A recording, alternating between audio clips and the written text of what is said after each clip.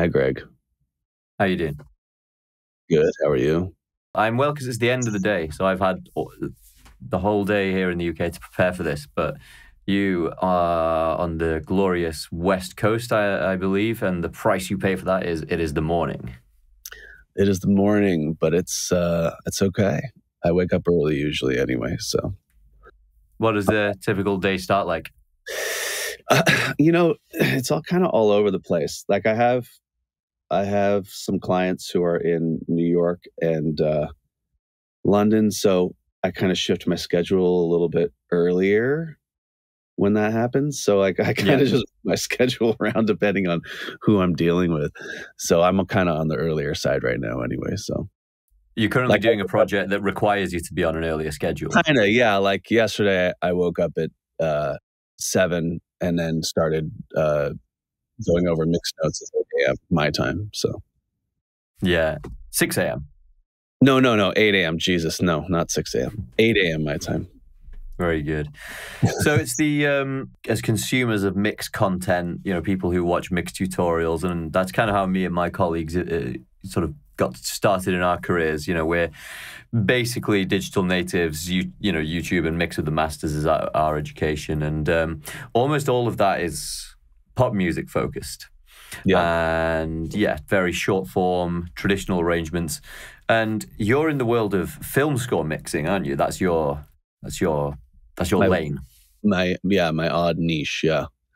yeah. Although you know, I'm doing other things too, but that's yeah, that's kind of what I end up becoming known for most of the time. What kind of other stuff are you doing? Um, you know, I I do records too. So you know, I've worked I've worked with some bands, uh, some pop pop artists. Um, uh, working with one right now, um, uh, Sophia Isabella, and she's you know she's really big on TikTok. I don't even know what TikTok is, you know, but, but she's uh, she's well known, and uh, at least in that world, and um, and it's very different from what I'm doing in my film score world. But you know, this this I'm doing a lot of stuff. Like I'm mixing the Sweeney Todd Broadway cast album with Josh Groban right now. So no way. Uh, yeah.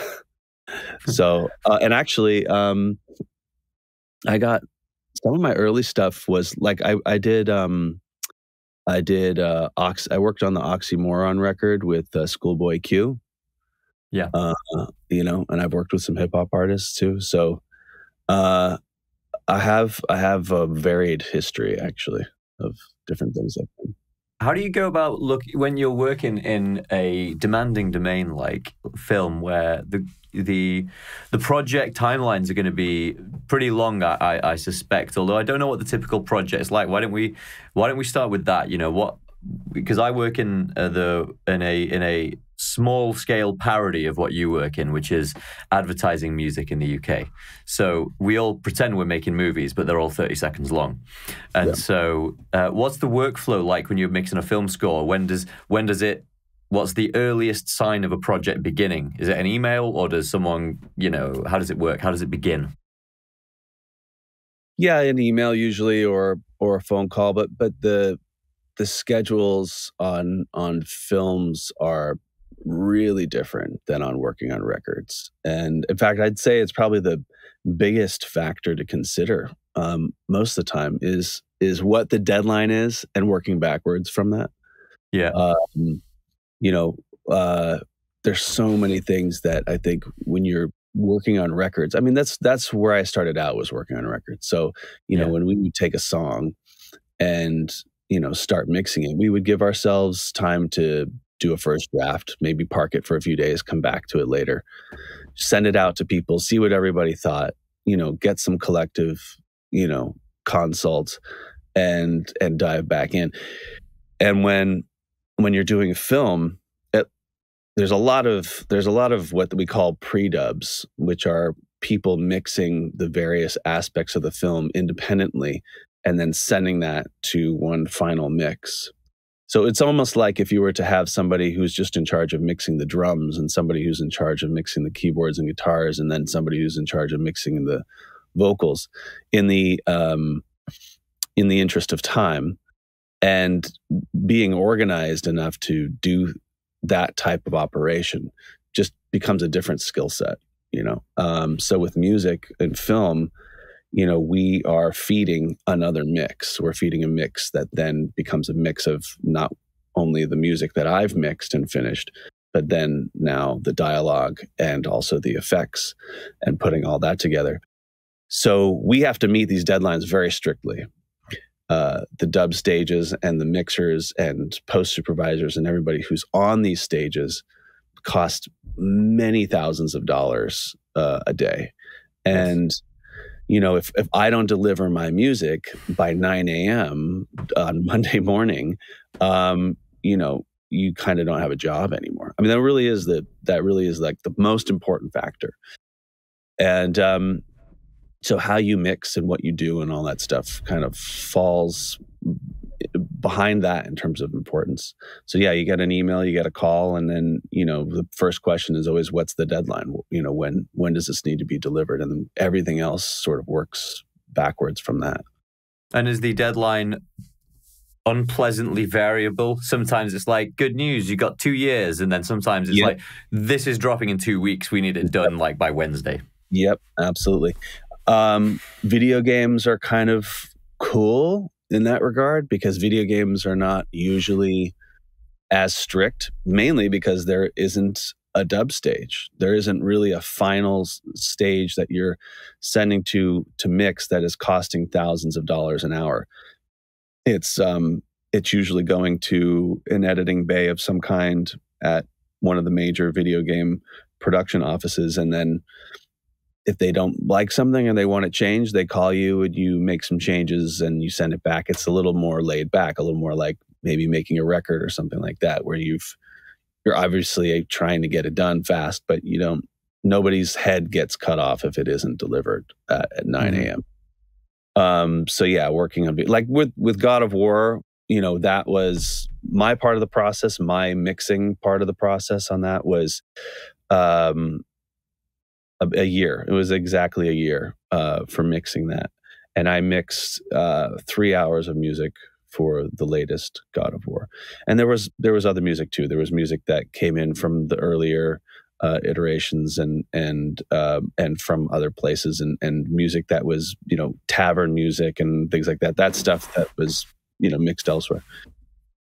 But um, the pandemic had a little bit to do with the schedule on that too, because we did actually stop at one point because of um, uh, VFX had to, I think, catch up at, at one point because of resources that weren't available because of the pandemic. There was a couple things that slowed it down a little bit, but generally it was pretty, you know, full pace, full on for about a year for me, where I I would mix an hour, which took about two months, and then I would take about a month off, and then mix another hour, which would take a few months, and just kind of keep coming back to it so yeah it's uh, it kind of it just really depends on on the type of the project but but video games generally have a, a bit of a different pace than yeah. than film and tv is even shorter. I mean you know if a, a, single episode of tv which could be maybe 30 minutes of music is something we have to turn around in in two days.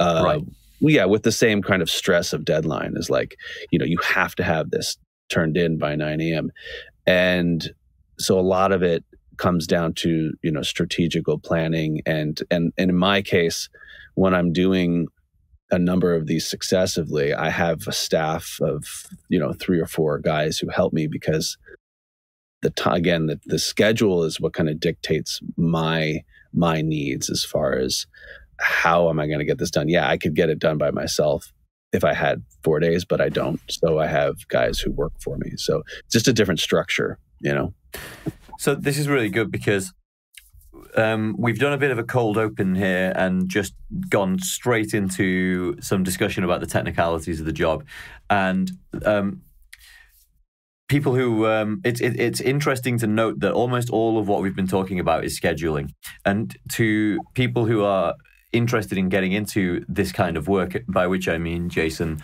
Uh, creative work and specifically in the domain of sound engineering and music production. Um, yeah people might be surprised to learn that the majority of the um, problems that occupy people are not necessarily problems about the craft and about the art, but mostly about the discipline that surrounds it, about the scheduling and about the the you know the organization of the business, about budgeting things properly. That um, over the last six years, uh, which is how long you know I've been in my business trying to learn um, from first principles uh, that really surprised me that the the majority of the the majority of the things that were necessary to learn were all about just about about the discipline of business. And so, I'd like to get into in, in not in a short while the the difference between film and video game. I think that's a very interesting subject, particularly with what we're about to see over the next decade or so with the explosion of capacity and like possibility with the new creative yeah. tools we have. But yeah. first, I think people need, uh, and then there are other places they can hear this but it'd be good to get a bit of a sense of um, why you're doing what you're doing and why you ended up where you ended up because we kind of it's it's important to understand that before we know where you're going. And and um, you have a trajectory that I'm quite sympathetic with because I was uh, in a rock band and then that fell apart and then I had to get I, I, got into media scoring. And I get the impression that your story is somewhat similar but different. So what why don't you just take us through briefly the beginning of your your career and what bizarre twists of fate pointed you in this direction? Well, yeah, I mean, I I first and foremost wanted to just be in a rock band and and I didn't necessarily know whether that meant touring or making records or what it was, but I wanted to make records and be and do the creative side of music. And yeah. um, and I was doing that uh, in you know, in a, in a small capacity. We were just playing local shows, and um, you know, I just the way you do in Los Angeles, you meet people, and and uh, a friend of mine who was in a local band was working for a film composer and was leaving the job, and said, "Do you want to meet this guy and see if it might be a job fit for you?" I didn't obviously have a job. I was 18, but I was looking for something to get my foot in the door with uh, some sort of a studio job because I didn't I didn't really want to go. If there was a way I could avoid going to school for it, I would have been really happy because I wanted to focus mainly on on on being in a band, and I didn't want to take you know the year and a half to to leave that to go do something else. So I took the opportunity, obviously, to meet um, this composer, and that was Mark Isham, who I ended up actually getting an internship with, and then eventually a job with for um, six years. So I I sort of fell into that, um, you know, sort of haphazardly and and not very prepared, um, and you know was really still focused on touring and f- focused on making records. So even though I sort of landed this really cool studio job in in music for Post, I was I was really not uh, certain that was kind of my path. So I went and, and toured full time for uh, from 2003 till 2009, I toured about nine to 10 months out of the year. And it was, it was really exciting. Of course, at first it was like such a different pace and a different, you know, anybody who's toured knows that it is, uh, it is like no other thing in experience. And unless you've done it, it's really hard to describe to somebody. And, um, you know, what I found ultimately was that I you know I was I was in the underground punk scene, so that that was a you know I think for me felt like there was a a little bit of a shelf life to that, and uh, and I loved it. You know, I got to you know we toured and worked with Flogging Molly and Bad Religion and and even you know Rage Against the Machine and and all kinds of incredible bands that were all our you know growing up were our idols. I was a skateboarder, so all these bands were you know in my whatever CD booklet or whatever I had at the time. You know was this this was my you know catalog of of music yeah. growing up. Um, and and then there was a sort of a, a, little bit of a shift for me. You know, I, I had gotten married and kind of was like, well, you know, where does this go for me? You know, I'm I'm in my 20s now, but what happens when I'm in my 40s? Am I still going to want to be crowd surfing? Uh, yeah. You know, and and and not sleeping. You know, every day. Uh, I think we should perhaps like put, just uh, dwell on that for a, for a small moment because I think it's a it's an anxiety certainly that that it's an, it's an anxiety that tortured me when I was in a band and I couldn't get my, you know, my bandmates to get as agitated about it as I was. And this is a, this is a this is an issue of being afraid of the right thing. I was kind of they were saying, "Ah, oh, we don't need to sell records. Making money is evil. We don't need to try and become, you know, uh, famous, let's say, or notorious, because that's just egotistical trying to get people's attention like that. We should just do it because we love the music." And I was like, "That's cool, but guys, if we don't sell records and no one wants to come, we don't get to do this, and yeah. we have to go and get other jobs." And so yeah. you you experienced that shelf life. It is a young man's game in some it, sense, it or, or, is I it mean, not? There, I mean, I guess there's a pressure. Depends on how you want to look at it. You know, we were on an indie label, and there were other bands that were, uh, you know, doing really well. Um, some some had their their their coming and going, and some you know kept going. And you know, I was at a crossroads where you know we were doing it for you know six years at that point, we're, we're touring for six years. We had actually been a band for longer, and um, you know, I thought this is, you know, this this could be this is a long road ultimately when you're doing a punk band and and and it is the slow burn. You know, it's like this is not an overnight success thing and it's not the way to look at it. And I I, I really kind of I have that discipline of like, you know, I take things really really seriously when I do them. And when I was doing that, I was definitely the driver of the band in in terms of those kinds of things that they didn't want to think about you know like let's sell records let's let's get out there and then like walk up to people and make them listen to our cd and buy it. And we did those things. I i was like you know really kind of thinking let's let's just push this. If we're here let's not sit around drinking beers. Let's go and and do yeah. This is work. yeah this is work. And um you know i kind of felt like I didn't feel like I was the only one, but at sometimes I did. And I sort of felt like if I am the only one this passionate about it, uh, you know, I may find myself uh, uh, having to sort of lower my standards and and way of thinking in order to stay in in this band or or in this genre or whatever.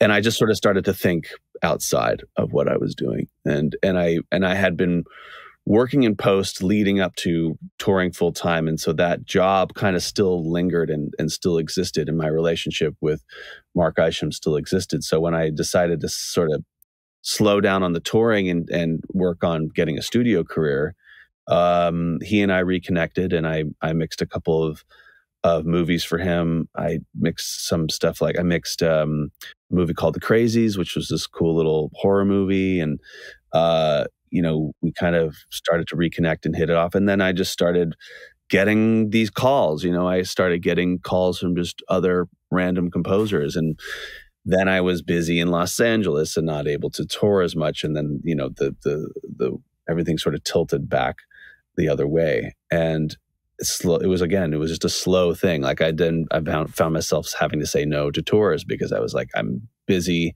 mixing this movie or i'm busy having to go and record something, you know, somewhere. And and then I just decided that was kind of where I was going to go. I couldn't really do both anymore. I was trying to do yeah. both for a really long time. And, uh, and was there just, a tension there? Was that kind of pulling on you? Totally. Yeah. I mean, I was really sort of feeling like, again, because I feel very dedicated to things and when I do them, I want to do them 100%.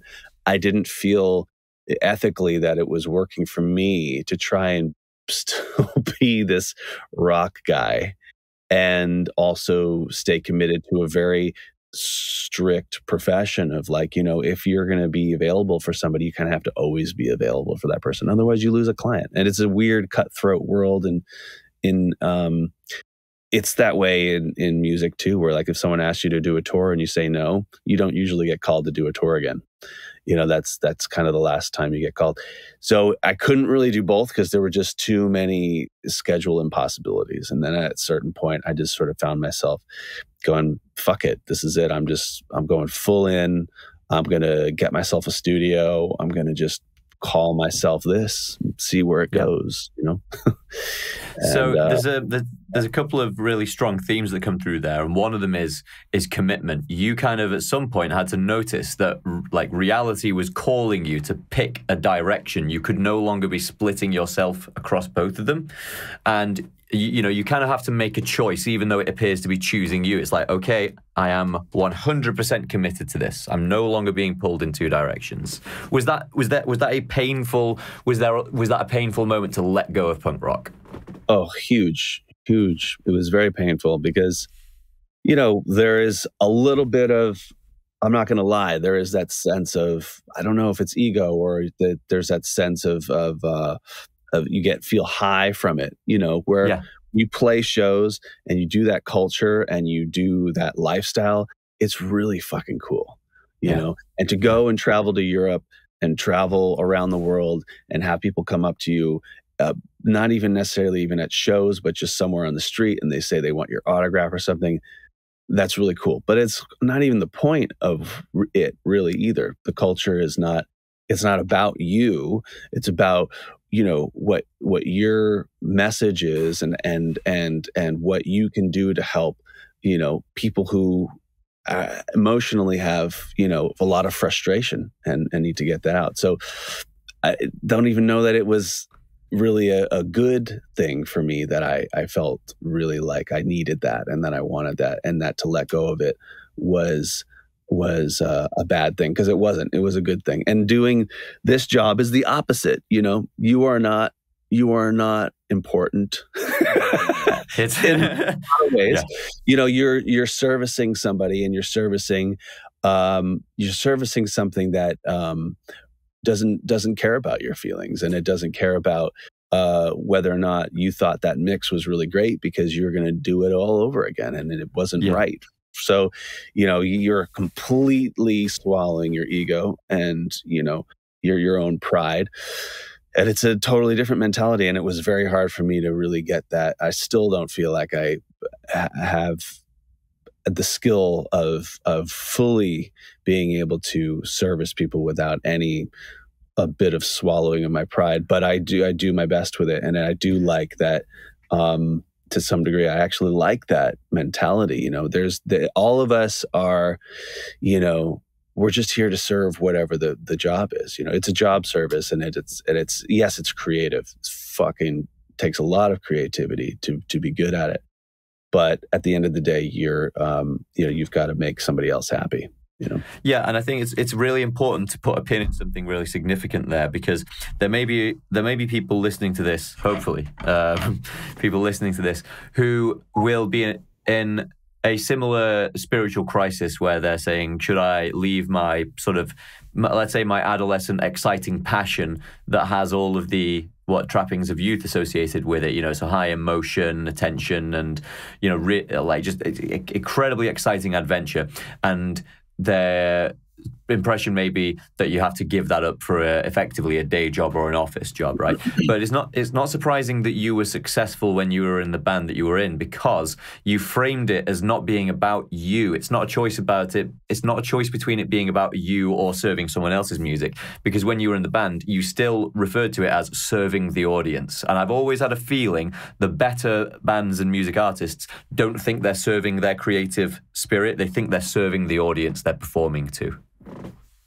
Yeah, I think the the best ones I think show that by example, and and and I think that's the reason why uh, I think certain bands don't become as successful as they could. I think that's why we didn't become as successful as we could have been. It was because I did to some degree feel like I I I wanted it to be a little bit about me, you know, and I wanted certain things to be about me. And unless you can really learn that, I don't even know if you can learn that skill. I feel like it's something you just are, you know. I feel like I don't know, like like Kurt Cobain. Maybe, he had an ego. Maybe he was somebody who felt like uh, he liked being a rock star, but he didn't.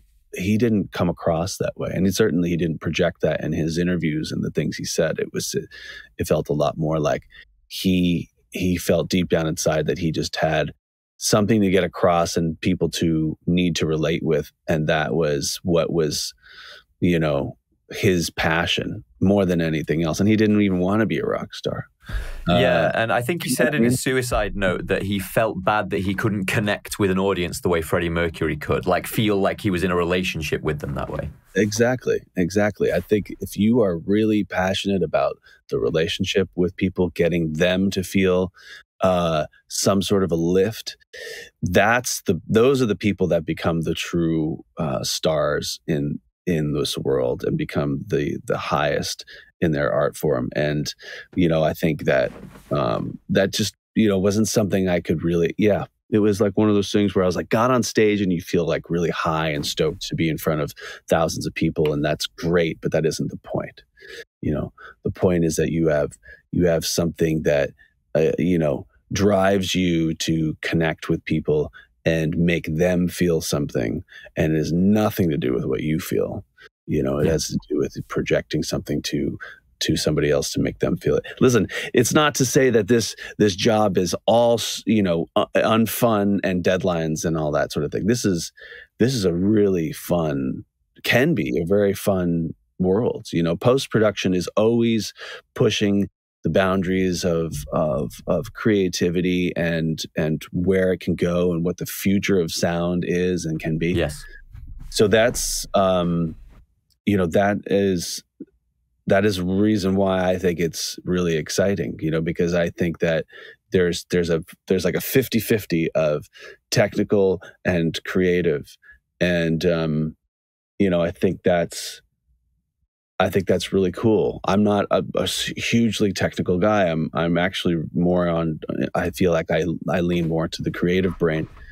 So I, I like that uh, balance, you know. I feel like it's a good balance for me.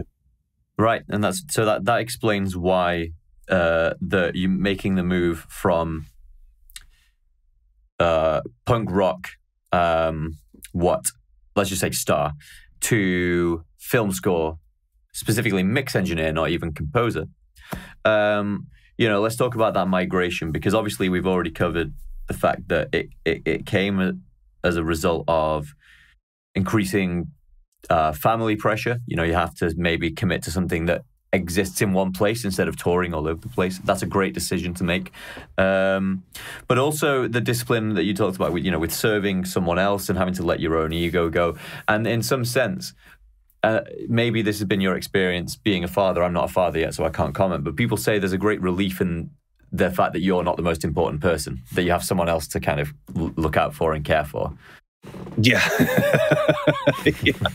I mean, yeah, that does teach you that uh, immediately. I mean, it's the first day when you have to be up at 3 a.m. to, to, uh, you know, bouncing back to sleep. I, I realized that immediately and it didn't yeah. stop. and so but it's, it's, it's, but it's a similar move, right? A parallel move across into post production. You're like, okay, this isn't my music. It's not about me satisfying me. I'm now at your service, and how can I make this? You know, how can I make this work? So, yeah.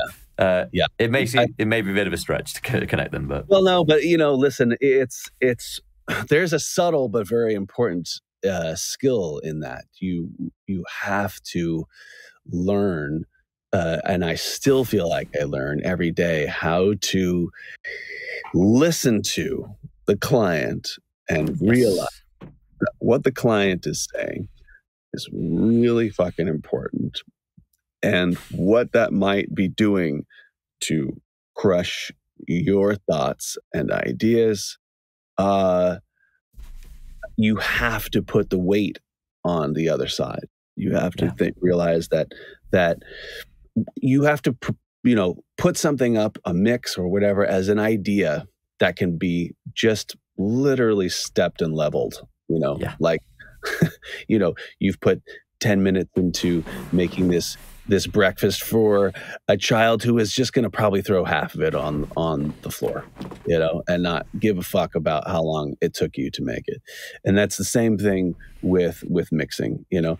And um but you know at at this at the same time it's great when it doesn't happen to where you don't have mixed notes you don't have anybody crushing your ideas you have somebody say that's really fucking good and yeah. i totally love that and the caveat to that is, you know, that will sometimes boost your ego and make you think you're really, really good.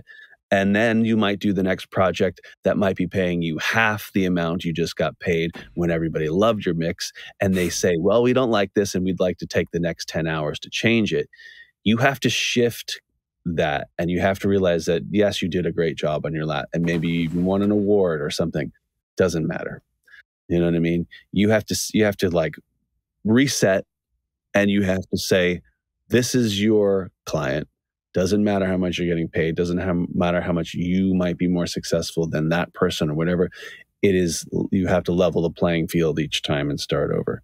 Uh, I have to learn this all the time because I I don't always do it as well as I know that I could. Uh, I every project teaches me something new, and and sometimes I relearn the same mistakes uh, that I've made in the past. You know. Yeah, absolutely. Who do you feel like you are serving the composer's vision for how the music should sound or the client and in in your context maybe just elaborate a little bit on who the client is because obviously in my world advertising you have two levels you've got the creative agency making the ad effectively the film studio but then behind them you've got a brand who have to spend like you said thousands and thousands of dollars an hour to get the thing made so really yeah it's them that counts. Who yeah. is it in your life? Well, in video games, um, you know, like with with God of War, we had I had the composer who was somebody I was serving, but I also had the producers of the music who I was serving, uh, who were on behalf of Sony. So there was actually a two tiered approval process, and I had to get the composer to say, "Okay, make these changes." Blah blah blah. Fine. Okay, now we send it to the producers, which is a team of people. It's like six people.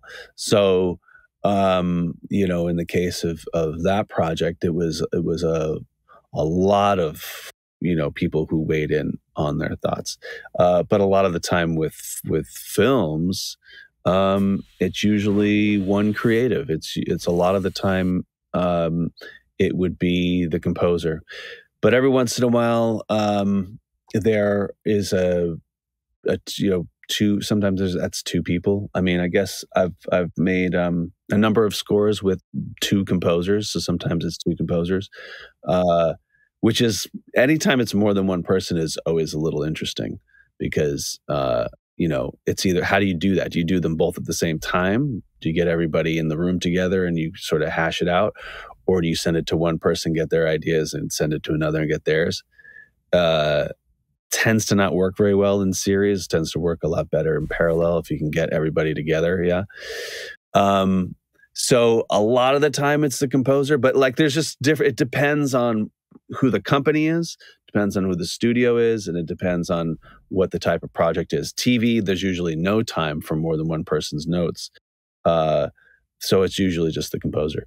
Um but with film you know if uh, if the composer's busy on something else, he might put some of his other uh, assistants uh, on the uh, the email chain or in the studio with me or on Zoom to kind of cover notes. Uh, you know, it varies, and I I think it sometimes is a little uncomfortable depending on who it is or how. Yeah. If you're dealing with somebody who you're not familiar with when you thought you were going to deal with the composer who you're really familiar with, but you're dealing with uh, a producer or or their assistant or something like that. It's not quite as fun. Yeah.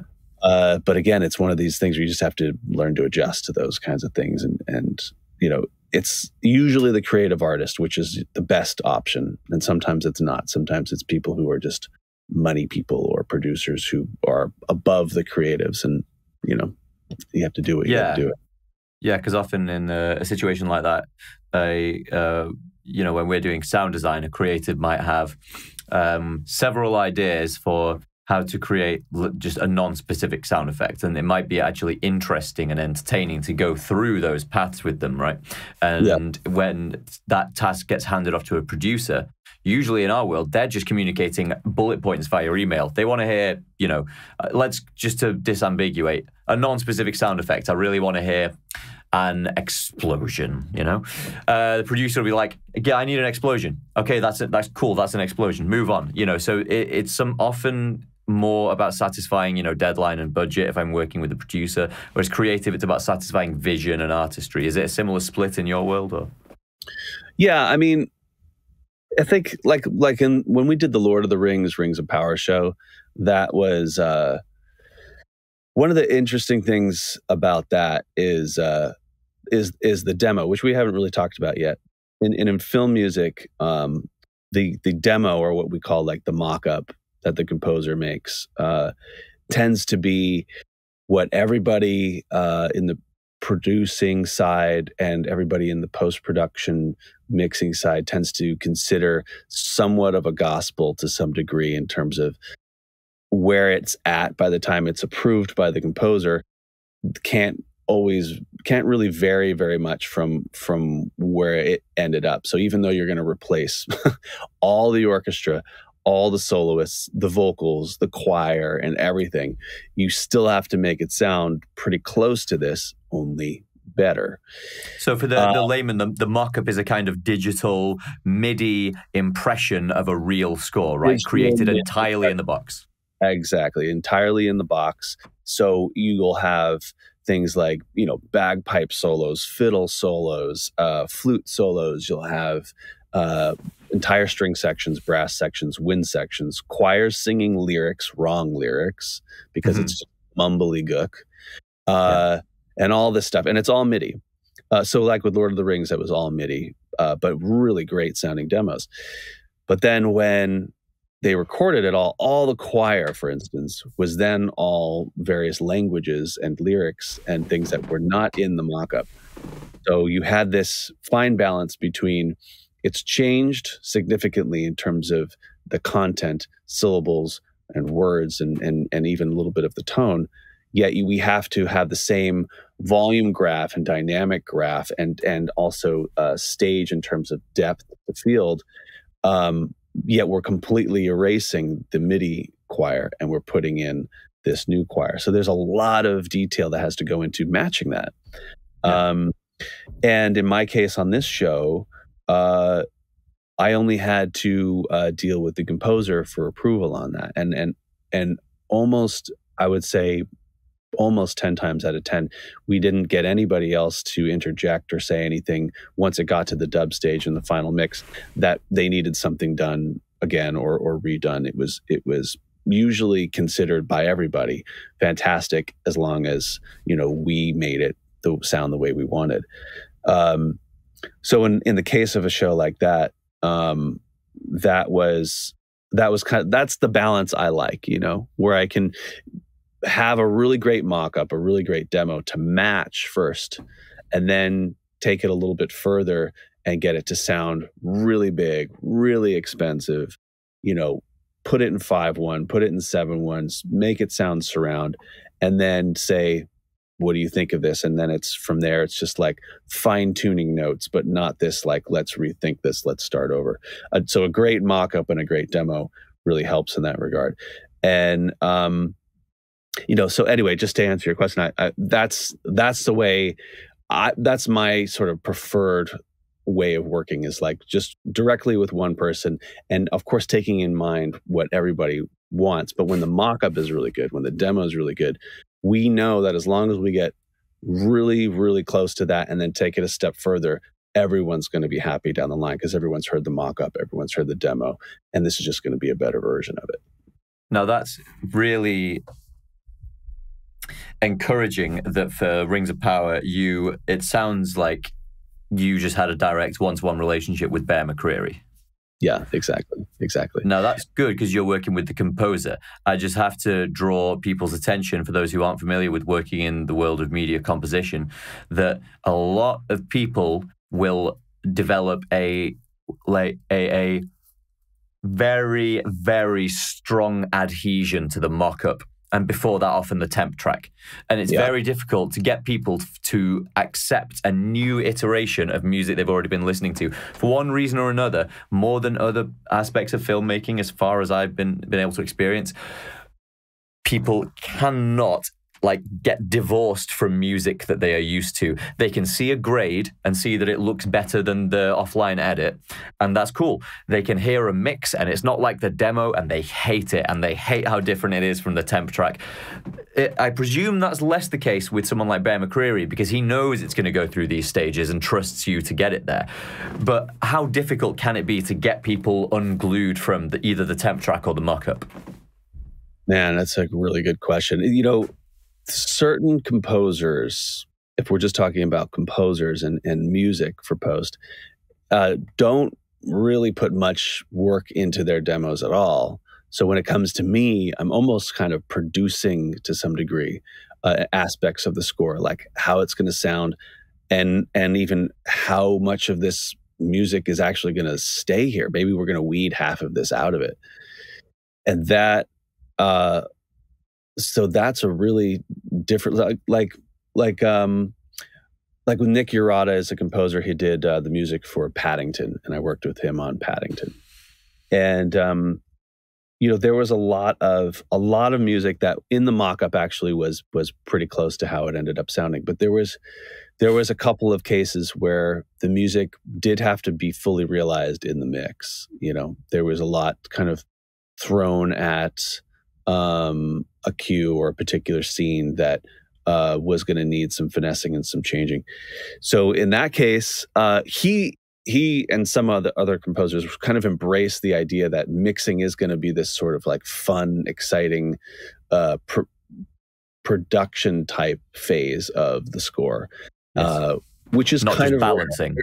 Yeah, yeah. There's not just balancing and not just matching things to a demo or a mock-up, but like now that we've got all these elements and now that we've got the picture and now we've got all this, now let's sort of like think about what we really want to do with this. We were just kind of throwing everything at the wall to get it approved, but now let's kind of give this thing some some shape and some body.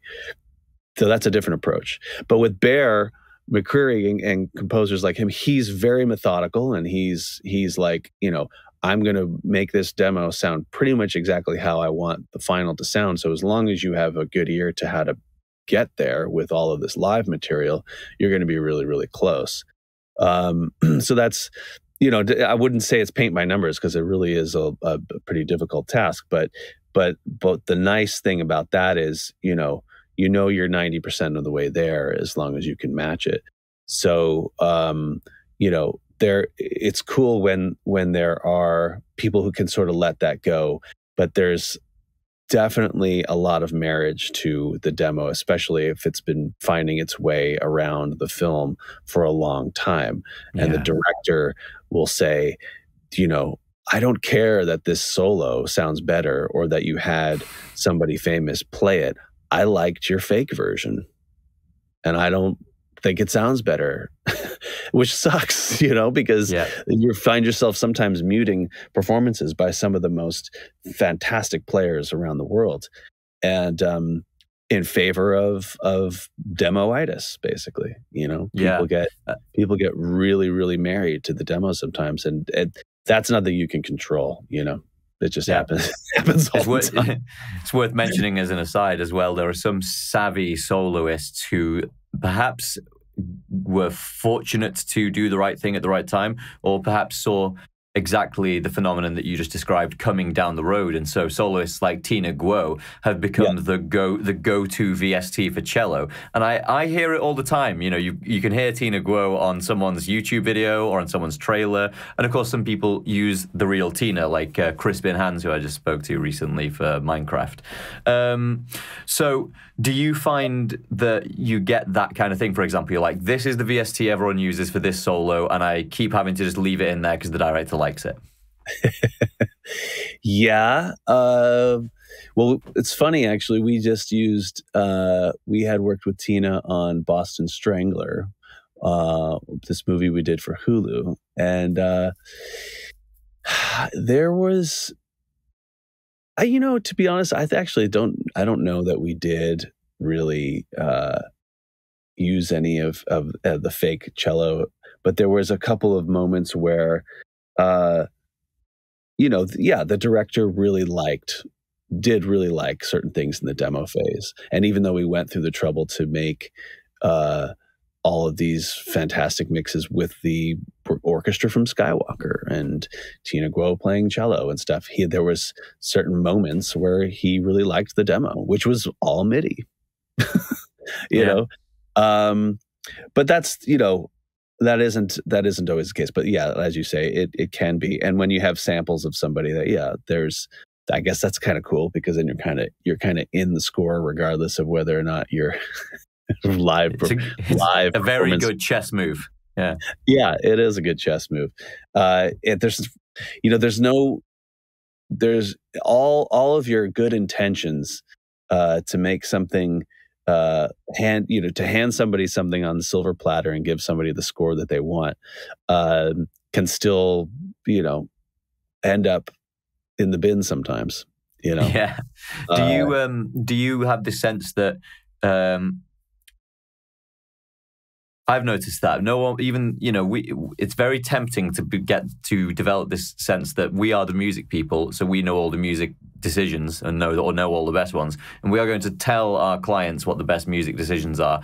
Mm. And they don't want. I've noticed they do not want to arrive to something finished. They want to be there when it gets assembled. They want to be part of the process. They want to have some input. So, do you make sure there's always space for them to have input? Hmm. No. I think I think sometimes when the director is involved in the music mix, uh, you know, it could it could be I think it could be a little bit dangerous sometimes. Actually, one thing that I think is is better, a better way of saying it is that, you know, when we when we record the music, director is always there, producers are always there, and I think that's actually really great to to weigh in on on final decisions in terms of how things get recorded. Um, but I think when it comes to the mixing side, the better way, in my opinion, a lot of the time is let us mix it, send it to you on the dub stage with the dubbing mixer, with you know the final dialogue, and you've got your big theater, and listen to it there and make your decision there. Because listening to it in here with me in my mix room is going to tell you something, yes, but it's not going to tell you the full picture. And, and that is ultimately yeah. what you're interested in is the final scope and final picture. So um, a, a, lot of the time I try and recommend that. Uh, and, and it's usually the, the, the directors that, that typically want to be involved in the music mix. A lot of the time are first time directors um, they're they're directors who haven't done the process with having a you know quote unquote score proper score mixer, um, and so they feel like they they you know they're obligated to have to do this and and they aren't really. And so a lot of the times if it's if it's somebody who's done a number of films, they don't they don't usually care. They say, "Good, send it to me on the stage, and we'll yeah. have steps. We can do what we need to with it." That tends to be the traditional process. Uh, but I've had directors here, and it's gone well. Actually, most of the time it goes well. I even had uh, there was a show we were working on with Dr. Dre, uh, nice. and Dr. Dre came here, uh, which was. I mean, I was so nerve wracked before he came in here because I thought, man, if this guy hates it, uh, they're of course you know the other producers who are in the room of course are going to say they hate it because they're going to say whatever dr dre says and know? there's also a sense that dr dre might be able to do it better because he's one of the super producers of our time. Yeah yeah, yeah. he's and he exactly. I mean i'm like you're a god you know? Um, and what was funny is he, he came in and and and uh, he's like he's like man he's like all right that's good. And okay thought, uh, the sense of relief was like it just absolutely so heavy. And um you know and i was like okay well that that turned out well. It could have gone the other way and didn't. And i'm always that sense of dread when when a director comes in here is like these guys can fucking squish me if they want. They could just yeah end me if they want to. So if I don't do them justice and I don't give them what they want, it could really be an uncomfortable situation. And I, you know, luckily haven't had that happen yet, knock on wood. But, uh, you know, it, I do definitely feel like every time it happens, when I know a director has to come in, I get really, really nervous. yeah, absolutely. It's possible. It's all. It, it's always possible for the person who is uh, to, who doesn't really answer to anyone to become a tyrant, and it's tempting to act like a tyrant because that can be momentarily satisfying. But my sense is that the best, let's you know, generic creative director that might be a film director, it might be you know record producer who's looking after a whole album. The best ones are the ones who, um, let's say, hire certain people because they like the work that they produce, not they like manipulating them to produce their vision. I've heard that Martin Scorsese's like that from um, Michael Imperioli uh, from um, The Sopranos and Goodfellas. He said Martin Scorsese, you know, often, and I'm sure this is a narrow, there's more to it than this, uh, will say, you know, I I have you you in this character because I thought you would do something interesting with it. So just take it away, see where it goes. I want to see what you do. Do you get people like that, directors like that working with you? Yeah, and uh, you know, I think it's nice. I think it's nice when you have directors who kind of uh, let let the music world do the music world and and and not put too much of their own uh, music knowledge uh, imprint on what yeah. on what we're trying to do. But um, you know, I'm not going to lie. I think I think that there is there's to some to some degree there's going to be a little bit of that where they where where the director wants to have uh, some sort of part in it, even if they don't really f- fit in in, yeah. in saying something about it. Because, like you said, they can say whatever they want. They can they can ultimately uh, override you, even if you've written some fantastic piece of music. But like um, you know, like like David O. Russell, for instance, worked with him on um, on Joy, uh, Jennifer Lawrence movie, and you know he was um, he was incredibly hands on, and, and some of it, not maybe not all of it, but there was there was a there was definitely um, you know an aspect to it that was that was very hands on, where it was like you know the, these are all fantastic pieces of music. These all serve fantastic as music, but but obviously what's what's in his head is something specific and that maybe he can't convey. So he was very involved in some of it. Um, in fact, I have uh, some really funny phone calls of him basically uh, in a recording session with us on the phone. He wasn't actually in person, and um, we just we just went for I don't even know, for like an hour, just trying out diff- different eight bar phrases and how to play them. Uh, I think at one point he said that he wanted something to sound like candy. And I don't, I don't even know what that means. I don't know what candy mm. is sonically, you know? Yeah. And that can be maybe, the most interesting. Fab filter. Actually, I kind of think I think FabFilter might be candy. I think of FabFilter, all those colors and everything. Well, you mean so you think of the entire FabFilter suite, or just the the Q3, or what? no, the the the Pro Q3. Yeah, the Pro Q3. Show, I'm showing the fact that I don't use FabFilter. I'm a Waves guy. Uh, am I misnaming it there? Good. Yeah. I'm actually, to be honest, I'm sick of people constantly telling me, "Well, you should put a Pro Q3 on it," you know, because it looks cool. You know. Yeah, and is it, is, is it is it a dynamic EQ as well? It responds to the incoming signal. Yeah, yeah yeah, yeah, yeah. And I've, I'm not going to lie, I've actually started to use it quite a bit for that purpose. I, I, I bought it a long time ago and I never really used it. And just sort of over the last few months, it has started to creep in more and more for dynamic control as an EQ. And, you know, I'm not going to lie, it definitely looks cool. It, it does sound good, but it's one of those, I feel annoying tools because everybody sort of uses it and people who don't necessarily know how to use it use it and anyway well i mean in my what was that? No i just was saying we tried to make it sound like candy for david o. Russell and, and that was that was that and that i thought pro q3 probably would have i presume david o. Russell wasn't one of the people asking for the pro q3 no, no. This is this was a purely creative discussion. But if, yeah, I, if I were being asked to make something sound like candy, I would I would put that up and see what what the client said. Absolutely, it's um, I I don't remember. You know, VST manufacturers and VST bundles have moments in the spotlight. And when I was at college, um, as you call it over in the states. We call it university over here. Um, when I was there, we had the the the, the I shouldn't say this the the waves the cracked waves bundle that every student had that was flying around, and so um, your first day ever using a digital workstation, you had about 400 plugins. And so you were like, right, I suppose I'll just try every different compressor and every different EQ. So you have these 10 stacks of plugins on every single channel. You can't make any of them do anything nice.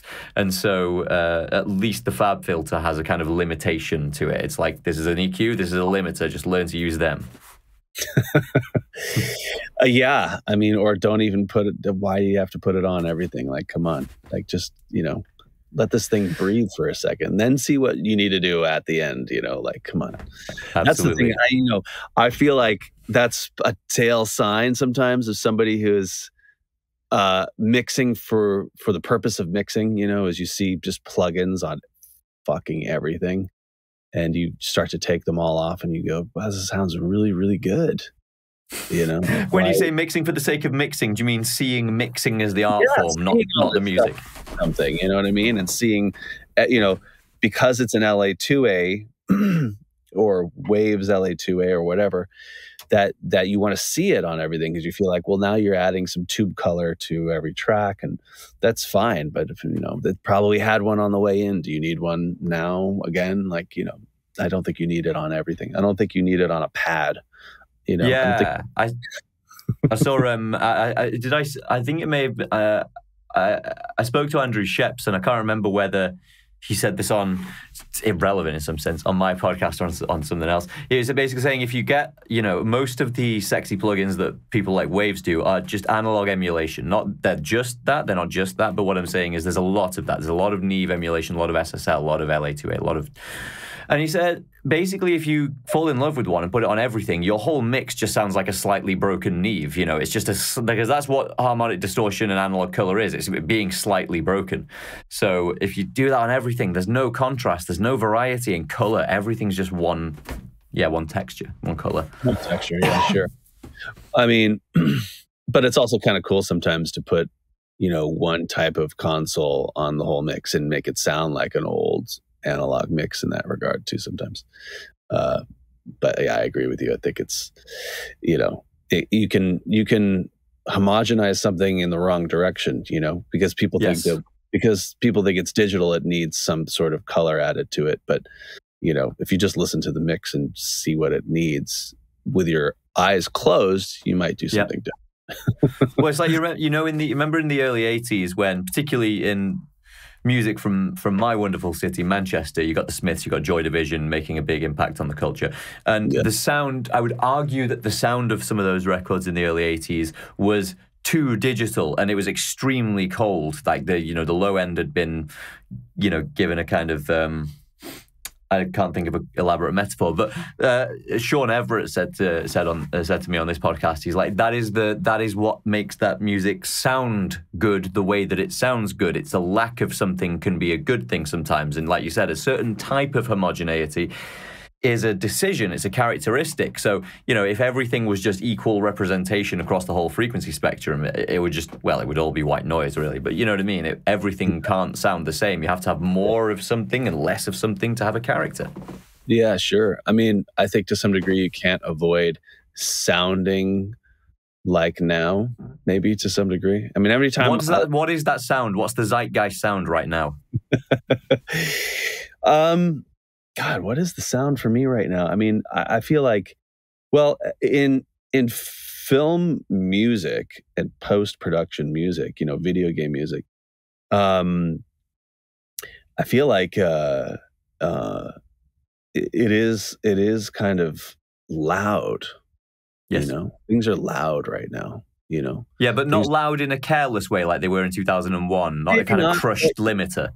Yeah, but you know, I think I think with with uh, Atmos, things are louder because they're they're you have a much bigger uh, uh, soundscape, places to put things, and and and so things are louder right now, and uh, I like it. I'm excited by it, but I think in ten years we'll sort of look back at the beginning of Atmos and think, you know, we were we were just kind of uh, excited by it, you know. Yeah, you can hear people playing with the new toy in a given era. You can hear all the in the uh, the '60s Sergeant Pepper era. It's like, oh, we can bounce multiple things onto one tape things now. So on the yeah. right speaker all the time, things on the left speaker, and then and then in the '70s, you started to see people coming to their senses and putting the drums in the middle again, and it was like. Yep.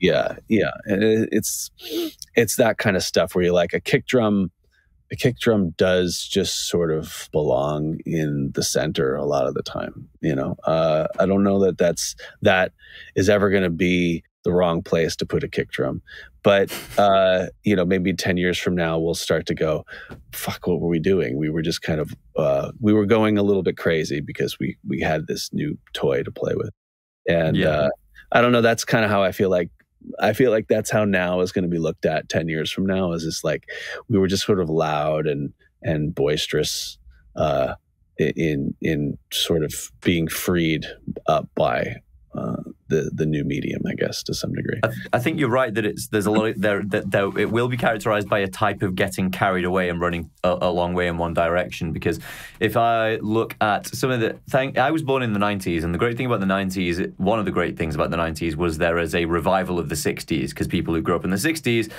turned 30, 35 and started putting their influences back into the culture. And so yeah. we got to watch uh, a great British kids show called Thunderbirds, which was done with marionettes and stuff.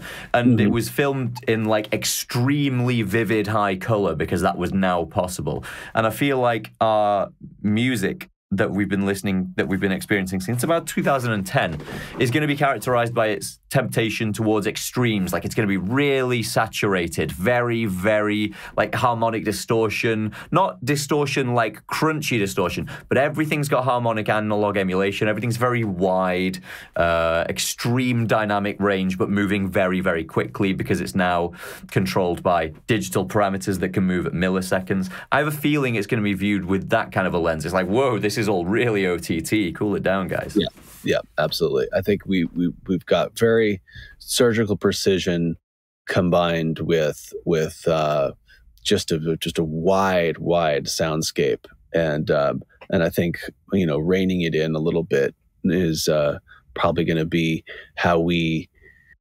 see the change in the future. Is that that that things become a little more settled down, or maybe that there's there's like a, a, less of the the tricks in the bag kind of become a little bit more like uh, you know maybe we don't need that. Maybe we don't need that. And this is just sort of like a, a narrowed uh, tool set.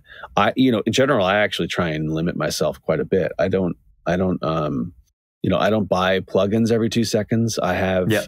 i have you know a, a limited range of plugins that uh, I feel like one of the big things for me actually that drives me in this is because I used to be um, first of all this is a I'm going to like nine different tangents but but I my studio is um, at a building called Fab Factory Studios uh, which is in Los Angeles and Dave Pensado used to be here uh, oh, wow. for years and he was right across the hall from me and when I moved in in 2017 he was here and uh, I used to go and, and hang out with him, and he would tell me all about the latest and greatest plugins, and I would buy them all. And I was con- constantly buying plugins, and there was another fantastic uh, mixing engineer here as well. He got was, given them for free, by the way, people. That's well, worth noting. I, he actually did. He actually did admit that he bought some, which you know maybe oh, he was but but uh, but good on him if if he was and i so yeah i did buy i did buy them and um and i got really into just like well so this week what's the thing to put on the kick drum? This week what's the thing to put on uh, the bass? And it was always changing and and the plug-in thing was just like a bit of a drug habit. And so i was really just on that tip for a while and just buying everything. And i think it what one good thing that came out of that was that I just started to realize that there's a, a handful of plugins I was always reaching towards and using. And then I started to kind of just use those and actually took a bunch of plugins out of my plugin folder. And unless I was using them constantly, I just took them out of my plugin folder. Like, there's no point in having a list of EQs that when you pull up your EQ list, you see uh, 75 EQs. That's impressive. But it, if you're not actually using them, you should probably just take them out of your plugin folder and see what happens when you take it away? Are you actually going to be looking for it? And so I started to do that. So for me lately, I have um, I have not purchased a plugin in five months, probably.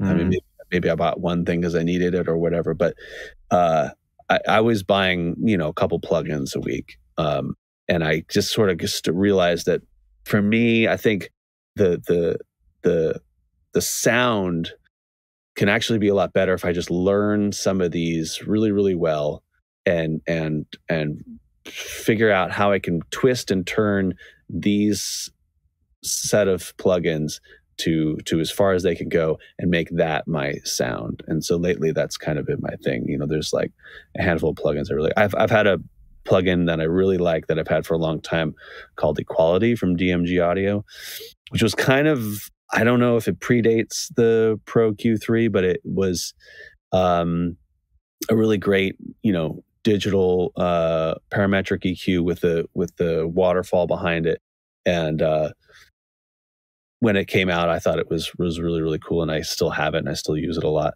And I, you know, if I really need to go to something else, I'll go to something else. But I try and uh, limit myself to things that I can just know really really well. And I yeah. and I think that plugins the other thing too about about post production is that if you are putting plugins that are brand new on something, you actually need to take two weeks to burn it in and make sure that there isn't some sort of a bug with the plugin. I won't name a plugin, but there was a plugin that that had just come out that I started putting on uh, every track, and it was an EQ, and we started to wonder why the mixes weren't coming back the same way when we were opening up the sessions again and I was like, what, what the hell is going on? These settings don't look the same, but that must have been how I had it. And then a few weeks later, I had emailed the plugin company and I said, is there something up with this plugin? It seems like something's weird with it and I can't figure it out. They're like, oh, yes, uh, we're putting out a new version of it. It basically doesn't save settings. And so uh, I had done I had done an entire film with this plugin where my settings weren't coming back the same way. And it, on every instance of the plugin, I had a lot of instances of it because it Whoa. was a new. I was really excited about it, and I sadly had it on and everything, and it was not coming back the way I had said it. And I didn't even really pick up on it that that's what was happening until I was done. So I, I had sent it out the door that way. And, you know, it's sad, but, you know, these are the kinds of things that it, plugins are great. They're fantastic. They will change your life. But there's there is an especially in post production, you have to make sure that these plugins are stable first and foremost. So I don't just jump on plugins and say, let's just get the newest, let's get the greatest. It's like we put it in, we put it into our um, edit room and we just test it out for a couple weeks. We put it on things, we open close sessions, we see what it does when when we put it here. We mono version, a stereo version, a multi-channel version. Is it going to fuck up when we do certain instances of it? Does it hold automation properly? I mean, these things are obviously tested by the company, presumably before they get released. But again, with this plugin, they released it with uh, obviously a glaring issue. So uh, that's another reason why I don't just jump on plugins, is because for me, I can't have that happen to me on on something where everybody's like signing off on something and says it's great, and then when you open it up to print it, it doesn't sound the same. Absolutely, yeah. It's worth noting, and for the for the for the for the layman who it's unlikely that we attract laymen listening to this thing, but I know that some of my family occasionally listen to this who aren't familiar with these kind of the kind of terminology we're using. Uh, a, an EQ that doesn't save its settings every time it closes down is kind of like making a painting, but the paint evaporates, so it just all of your work just disappears. Yeah, exactly. It's like uh, you know the the black outline of your picture just like you know remains there. yeah, exactly. And that's it. I mean, I had um uh uh this other project where oh yes so when i won't name the project but again similar thing is that we have four usually actually have like four different rooms or or or editing bays or whatever kind of going at the same time where we're working on the same session and one of the issues too that i've come up with on a technical side is that uh, plugin version numbers really have to be the same between editing rigs and mix rigs because I've had certain plugins uh, lose settings because they went to a newer version of the plugin when I sent it to the editing bay. And then when it came back to me on the mix rig, it was the older version and it lost the settings. Um, so there was a couple plugins that uh, we had that issue with. One of them was uh, uh, Low Ender had that issue at one point where if it was a newer and older version between two uh, computers, it didn't save the setting. So for me, that's in the post world. That's one of the ways I work. Is I I'm not the only one who touches the session. I'll send it to an assistant to maybe do uh, a premix of the drums or something like that, or do an edit of something and then send it back to me. And if it's not the same exact uh, version number of certain plugins, we've actually found there's a couple of companies that uh, the versions when they when they go forward, they're not backwards compatible. So when yep. it's a new version of the plugin, so that's another, you know, big thing for me. Like if I hire somebody temporarily on a project, we go through our entire plugin list, which is exhausting, and we actually just make sure that the versions are the same, so that if we're sharing sessions back and forth, we don't have that issue. And so it's just a, is it just a case of updating if you find one that isn't you know theirs or yours isn't up to date or isn't yeah aligned. yeah yeah. We figure out who's got the newer one or if somebody can go backwards some depending on who it is. Like if if if it's me who is the one that's out of date um you know i'll try and update. But if it's if it's if it's them who's uh out of date it depends on like if i have like five different sessions going on and i need the older version Mm-hmm. I try and see if they can roll back to the older version, uh, just so that I don't lose. Ish- I don't have an issue with the other project I'm mixing. So if I'm mixing two projects at a time, sometimes I don't update. I have the other person go, backwards. But generally, we try and obviously move forward with it if we can. Yeah. yeah. And to people who may be out there listening and wondering why would you go to such lengths, it returns to the uh, issue we were discussing at the very mm-hmm. outset, which is that ultimately everything that you can, all the media that you consume, all the entertainment, and there's a lot more of it now than there once was because it's so much easier to produce. And believe me, that uh, what uh, multiplication of entertainment assets is only going to increase as we head into the AI era because it becomes easier again to make things. Why am I saying all this? It's important to do all this laborious work that um, Jason is describing because at the end of the day, someone, if you have one problem that sets things back by three days, means they're like 50 grand out of pocket immediately. So, you know, 100%. you've got to get things disciplined and correct. Is, is that right? 100%. Yeah, like if you if you have to reprint something that you've already sent to the dub stage, um, say that's just an hour of lost time. That hour of lost time could be five thousand dollars. You know, yeah. Uh, when you when you factor in everybody's individual pay and the studio's pay. Um, so those are the kinds of things that you know may not seem like a big deal if you're dealing with an artist in in their bedroom, but when you're dealing with something that has the kinds of consequences like uh, many thousands of dollars an hour because of a mistake like that, uh, it's the, it's a much bigger uh, consequence. And so for me, those kinds of things are really, really important. You know, uh, we go through like every single plugin and, and, and we don't ever update things unless we make sure everybody does it at the same time. Um, any time the session is open and being shared between different rigs, uh, that's kind of a big deal. And maybe some people don't think about this kind of thing uh, who are mixing records and, and, that sort of thing. But um, I do. And, and I do know some music mixers who are doing this now too, where they do share sessions between multiple rigs for various reasons, for editing or for printing or something like that.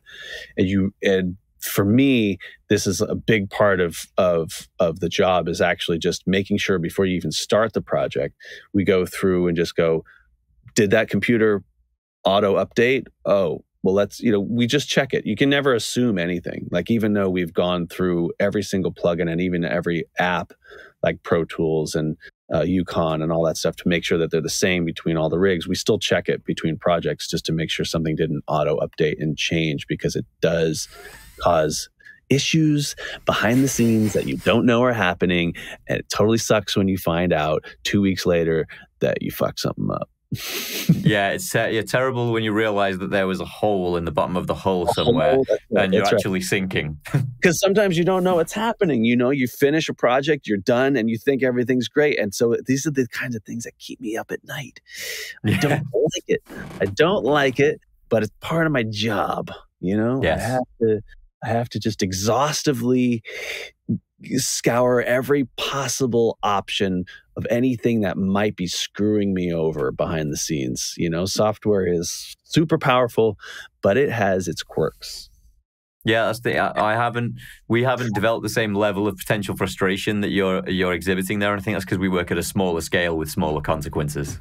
I mean, you know, uh, even even if uh, even if it's just within one rig and you're working on a laptop, say you update uh, to a new a newer version of a plugin, and then you find out that it's not compatible with your Intel chip versus the M1 chip or whatever. It's like these kinds of things are they're important on any level. You know what I mean? It's like yeah. um, I I don't just automatically go to the latest software or whatever. It's like you know you you do have to think about uh, I guess the Intel M1 thing and like is this OS going to work? And like, you know, I, tr- I actually think my OS is pretty old because I, you Which know, one are you on?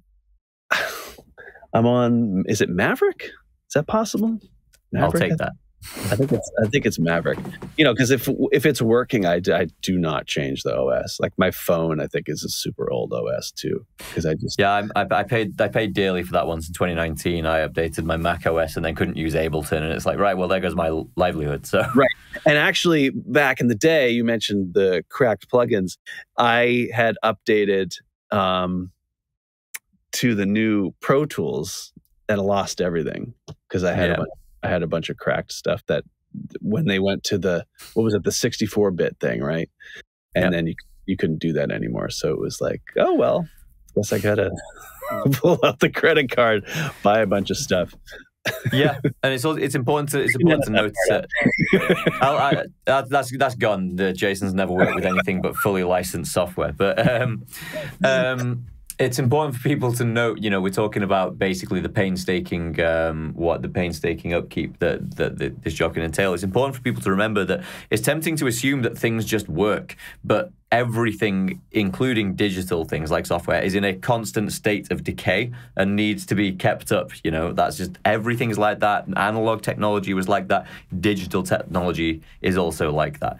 And so, you know, it's always tempting to think, well, you know, we moved it onto the digital world. It should just work forever. But this stuff breaks as if it's a car. So. It really does. It really does. It's wild. I mean, you know, you are blown away by the sound of it. and it and it, it is true. It is is is amazing what we're achieving with AI. But unless it works and it's super super solid, I actually don't care and don't want anything to do with it.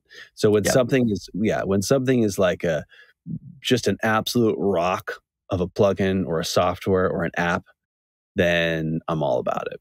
And those those are because when when you when you're factoring in time, which again is like probably the most important factor uh, in post production.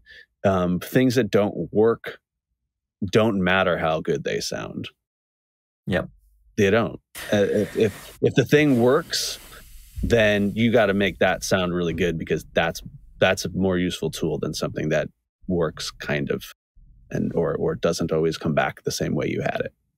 It's that's just, it's part of the, it's part it's part of the nature of bargaining reality that we were talking about as well at the very beginning when we were saying you know it's uh, you were successful in, uh, in a in a punk rock band to begin with because when you played your music people liked it and ultimately the ones who succeed in that domain are the ones who just accept that that is the acid test. If the audience likes it, you're doing it right. And if they don't like it, it doesn't matter how important you think it is or how important it is to you your music is for the audience you know so um, it, it's just we you know this is the theme that keeps coming up you have to test things out against something and if it works it works and if it doesn't work doesn't matter back to square one and it's important to, it's important to be reliable, which is a, a, the reason I'm segueing to reliability is because we're at an hour 25. I'm about to hit my an hour 30 limit, and I have to be reliable as well. And do you work on Sundays? Is a working day for you, or have you just come in for this? Oh yeah, no, I totally work on Sundays. Absolutely. Um, you know, uh, it's funny because uh, I was thinking about what you were just saying with regards to the litmus test of of putting up a new song in front of an audience and seeing what they think of it. I think people's a lot of a lot of bands' first re- best records, oftentimes because you know a lot of people say oh their their best record is their first record is because they played it in front of crowds a lot and changed aspects of their songs based on audience reactions. Yeah, like a comedian uh, testing jokes.